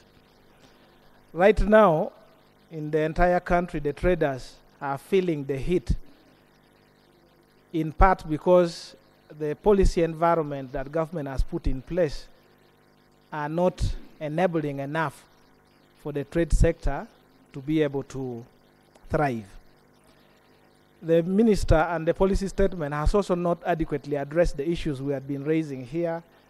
I think on the falling prices, I'd expected that to come more clearly. And uh, right honorable, I remember you had directed that in processing the policy statements, the issue of the tea farmers, I think, from uh, the west, the issue of the falling maize prices in the entire country and even the oil seeds should be addressed. This has not In come fact, it, really. it was Zombo mainly. Uh, Zombo, yes, wh- wherever it is, they have not come very well. The second point I would like to highlight under trade is the composition of our international delegation. I saw in the report they have recommended and allocated money for our delegations to go abroad. Most times, Mr. Speaker, this issue of assembling a group of friends, relatives, and in laws to go to very high level delegations that require knowledge and thinking because you are going to engage other countries are going to bring experts people who know it. Only one statement can uh, be able to even confuse the entire delegation of uganda. And i have examples that have come to my attention. And the point i'm making is that let us be serious and take take those opportunities that come. Uh, on the issue of uh, finally on trade, I want to emphasize what my colleagues mentioned. We have had resolutions from this parliament that required the Ministry of Trade or government to act upon them, and they have been ignored, including a resolution on the accounting officer of the ministry. It was determined here. We don't know the fate, and I want the minister to comment because, as parliament, our only tool is when we are respected. If we make a resolution and then it is not implemented, and the same entities come here, they want money, it can demotivate even other accounting officers because they don't see uh, us biting enough. On the issue of uh, tourism, I have uh, this comment. In uh, for, for people who did economics and maybe statistics, there is this subject called uh, econometrics, which is basically uh, using economic theory, and when you apply statistics and uh, mathematics to the economic theory, then you come with a model that is able to give you some economic phenomenon. In, in short, you turn the economic theory into viable policy positions. And I, when I listen to the discussion here, our input into the tourism sector does not match the output that we would like to get from there.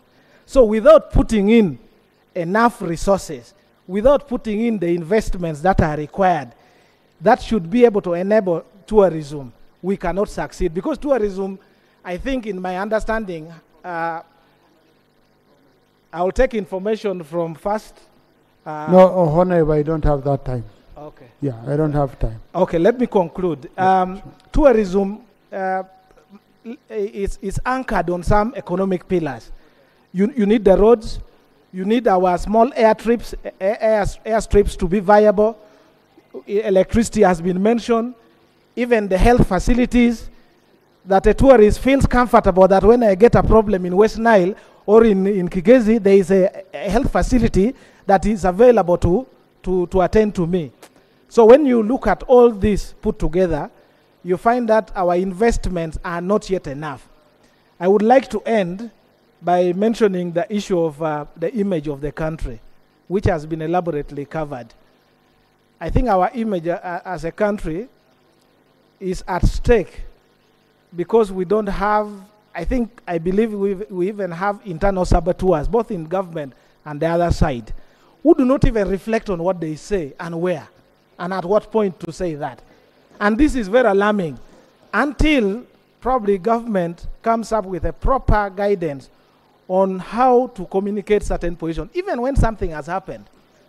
Even when something has happened, how do you pass on your information so that when it goes out, it doesn't alarm our tourists? So, Mr. Speaker, I would like to um, end there and uh, appeal to the committee to look at only one issue. One, one day when we were going to West Nile, you were also going for, um, you attended the burial of the wife to our colleague. We found our own uh, representative in the East African Legislative Assembly, Honorable Veronica, who had a vehicle with a, a EAC number plate. And uh, she's a Ugandan, she's from East Africa, but the rates were different. So they said they gave her the rate as an individual because she's a Ugandan, but they denied her car. Said now this car belonging to East Africa must pay a, higher a higher price. I think that is a small issue that probably the Ministry of uh, Tourism can deal with. Let's have something uniform. If I'm a Ugandan and I'm driving a car, probably Lances in Tanzania and the rest, I think the rate that applies to Ugandan vehicles should also automatically apply. It would help. I thank you, Mr. Speaker. Uh, Sure, sure, sure, sure. I totally agree with you. Because if we are paying the same school fees in universities, paying the same what, why should we? So, um, all of you have five minutes. All of you. You're not going to go issue by issue, issue by issue. You'll have another opportunity of interacting with us. Chair, use one minute. Thank you, Honorable Chair. I want the to thank the members for their comments on the report. Right Honorable Chair, I want to clarify a few, Right Honorable Speaker, sorry. I want to clarify a few things. The first comment came from uh, Honorable Kabanda, who complained about the committee allocations to the Ministry of Tourism. I want to inform the honorable colleague that the allocations made by the committee is informed by the ministerial policy statement. The ministry is presented to this house, and so that was referred to the committee, sectoral committees to process. So that is the only source that the committee had in terms of funding to allocate to the different sectors. Second, Honorable Speaker, the comment by Honorable Guzuli, I want to also comment that it was just because of time factor. That's why I had to rush over the report and do a summary.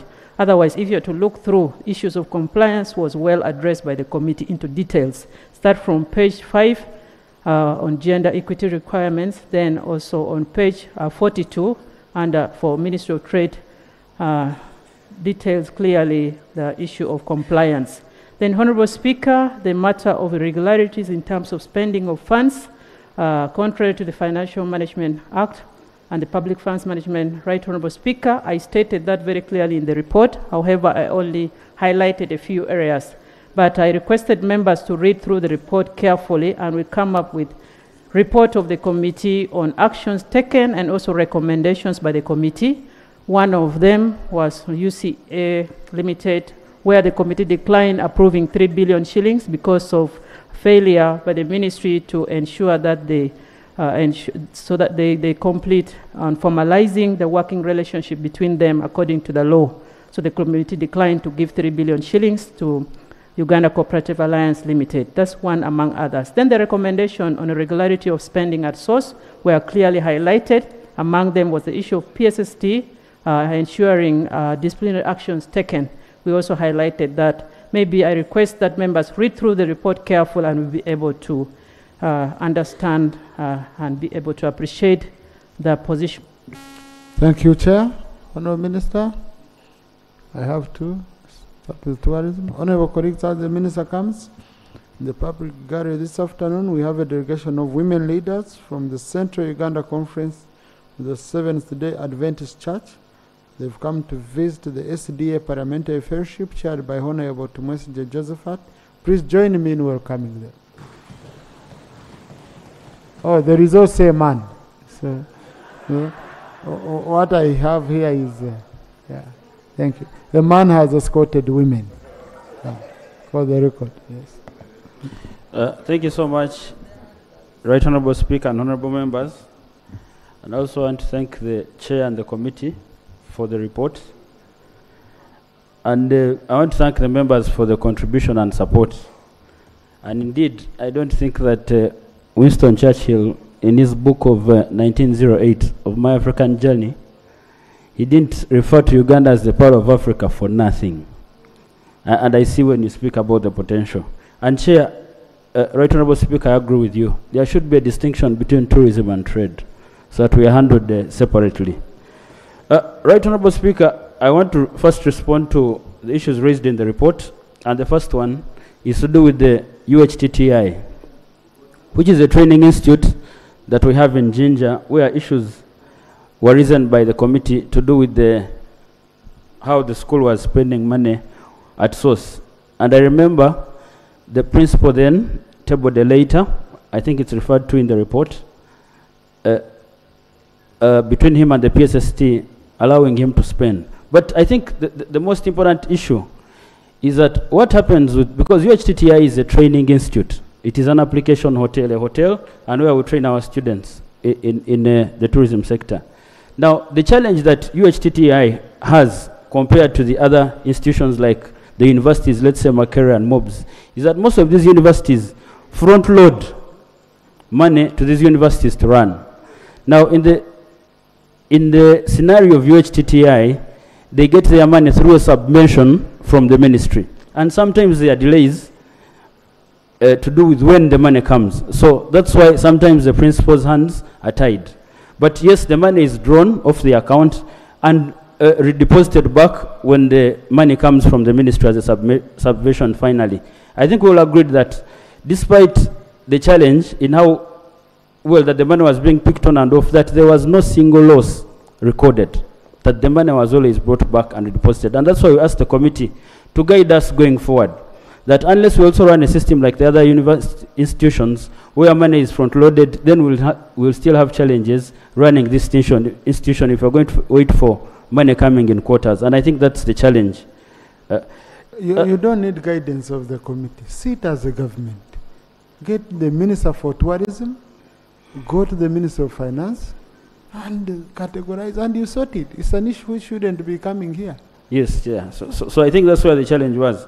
Secondly, on the recommendation of the committee to raise the, the, the, the money for compensation, the allocation from 2% to 5%, I think that is still an issue of parliament because this is provided for in the act.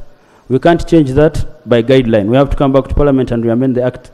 But also, the Uganda Wildlife Act provides that in a scenario where the resources are inadequate, that parliament can allocate money from the consolidated fund to support the 2% that would be going to the to the to Uganda Wildlife Authority for compensation. But yes, we agree that there are some challenges and delays. Of course, we passed the regulation a bit late. We've so far, I think, uh, given around 900 million as we speak. And we believe that we're going to revise the guidelines to make it more easier for a person to access the aid. Of course, also having uh, in mind that, of course, we also have to keep regulations a bit tight so that the money is not abused. There must be some evidence that indeed there was a damage caused. So, so this is a matter that, that, that we are handling. But still on UWA, Chair, and this matter kept coming up, and I want to thank the committee for recommending that the UWA ceiling be raised. Because if you look at uh, what we are discussing in the ministerial policy statement today, what we've been given as a ministry is 202 billion. But the corrigenda that we got, the money that we've been given from finance is 177 billion. And that's why maybe some of the issues arising out of the committee report. I don't know if they'll be implemented or not, because there is already a reduction on the budget as per the corrigenda. Now, if you look at how much Uganda Wildlife Authority, for instance, will be getting, it will be getting maybe around 72 billion Uganda shillings. Chair, UWA has around 3,200 employees. Just uh, pension, gratuity, and salary alone of UWA officials will be around 60 billion.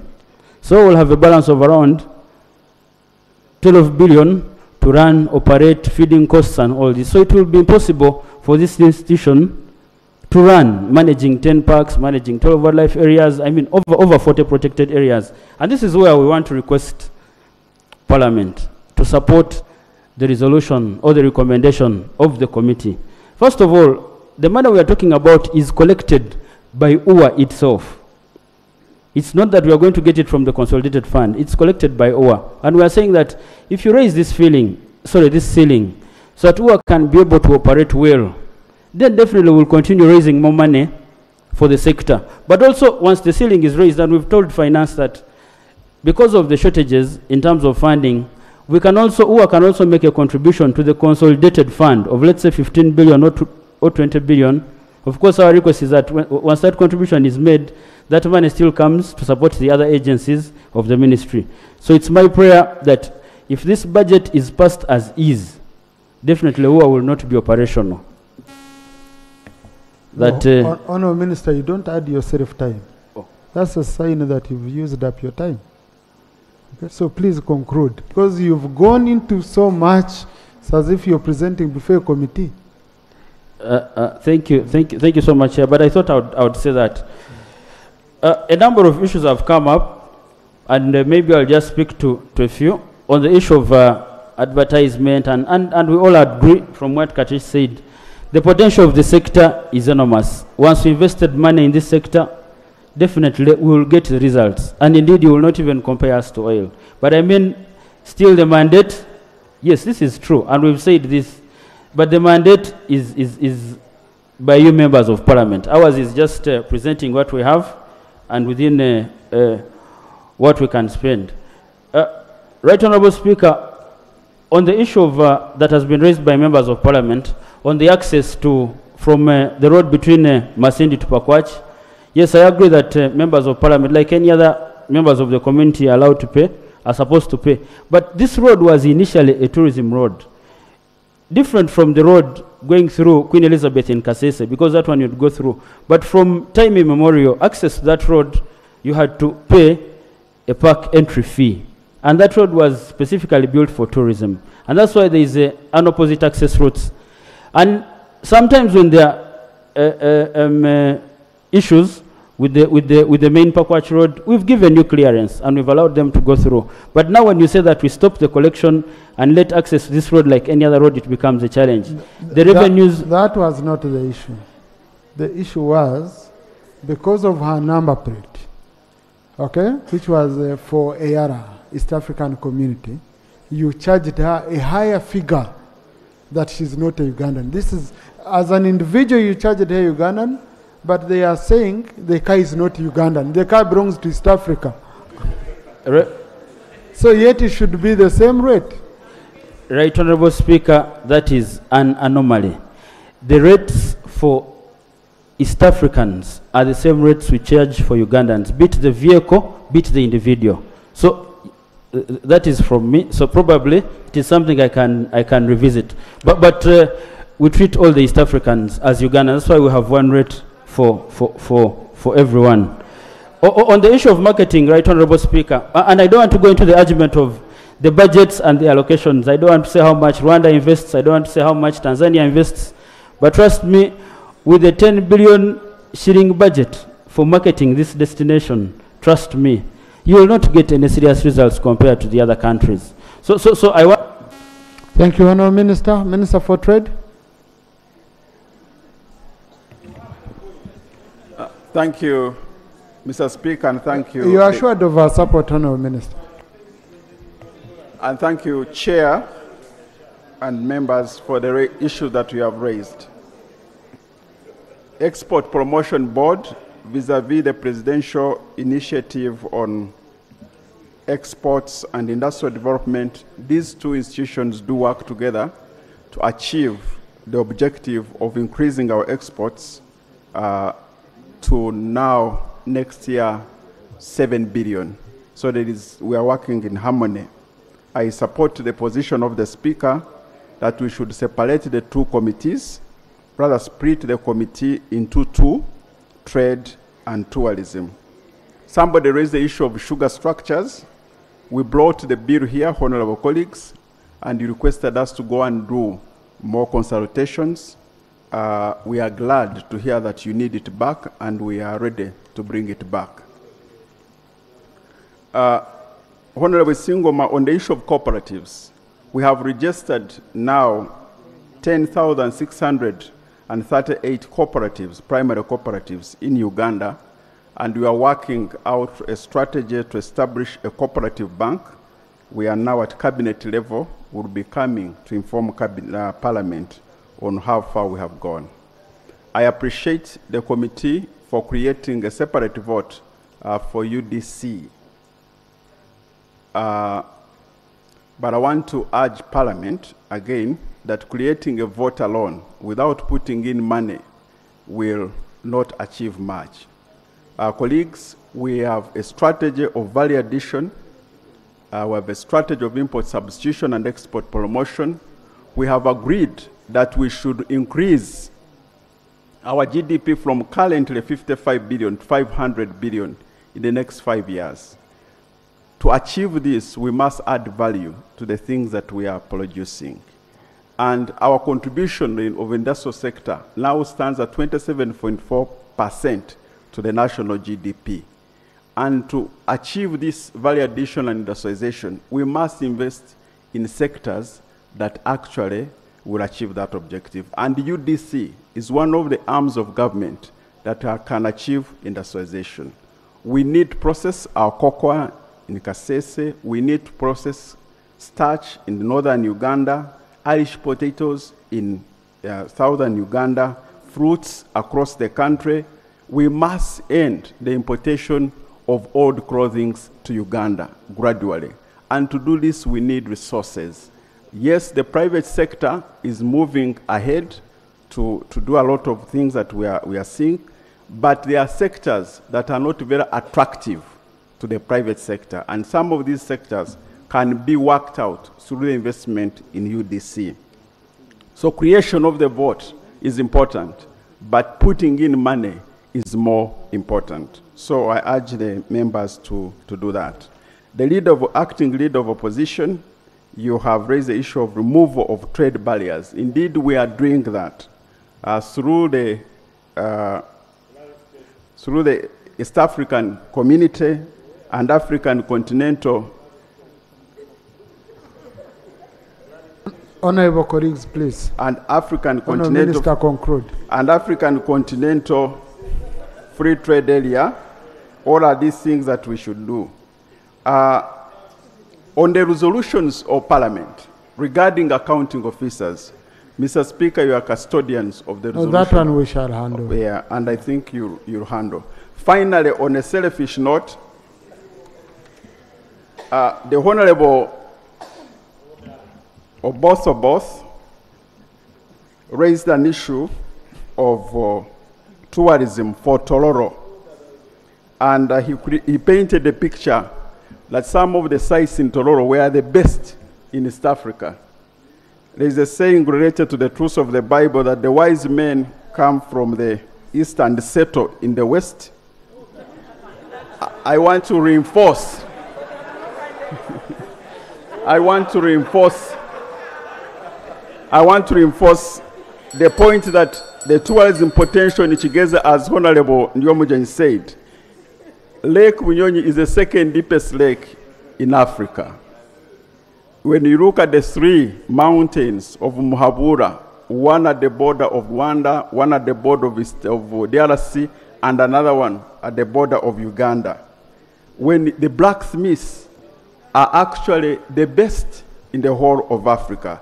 So, Honorable Oboth Oboth, I support you, and I want to support members who have raised these potentials of tourism as one of the key sectors in the economy that can increase our resources in addition to trade and industry.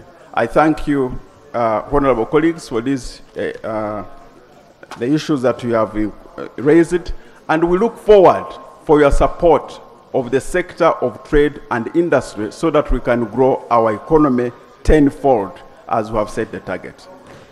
Thank you. I now put the question that the report of the Committee on Tourism, Trade and Industry on the Ministerial Policy Statement and Budget Estimates for the financial year 2024-2025 be adopted with the proposed amendments. Those in favor say aye and the contrary nay. The ayes have it. Now, uh, honorable colleagues, you can see we have our technical staff from all sides who have been here since morning, can have a time to move out and get a cup of tea. They also need a small break.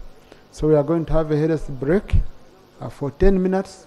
We come, we resume immediately. 10 minutes are enough for us to be able to come. House suspended for 10 minutes.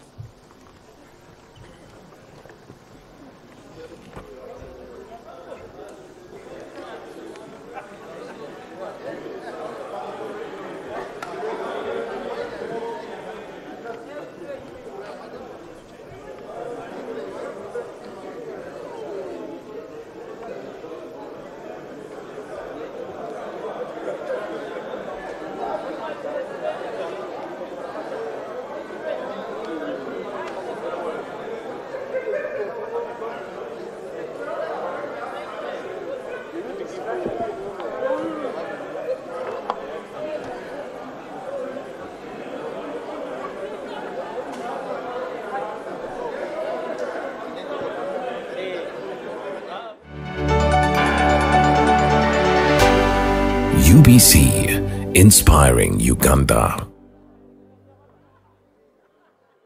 Nyati Motion Pictures brings you Tuko Pamoja Luo segment. Learn about the famous legend of Jipiri and Labongo and how the Alur, Acholi, Jonam and Japadola, Jaluo